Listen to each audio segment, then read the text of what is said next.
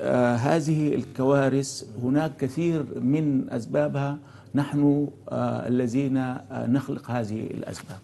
أولا حكوماتنا منذ الاستقلال إلى اليوم لم تضف شيئا على ما كان في عهد الاستعمار من بنى تحتية يعني عاصمة زي الخرطوم.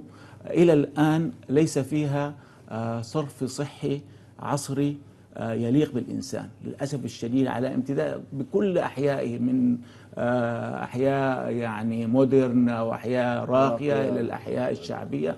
كلها تتساوى في عدم وجود هذه البنية التحتية المهمة لأي آه، مدينة ولأي إنسان يعني يروم الحياة الكريمة.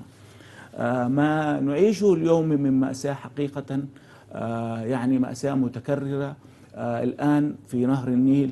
كوارث آه، فيضانات كبيرة جدا.